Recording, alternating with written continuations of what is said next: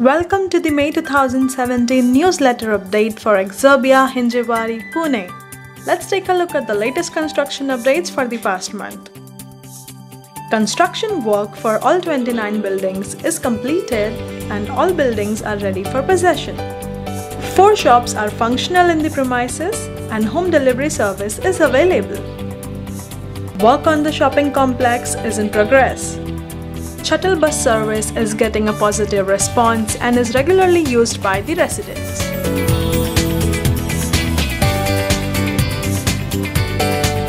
That's all we have for now.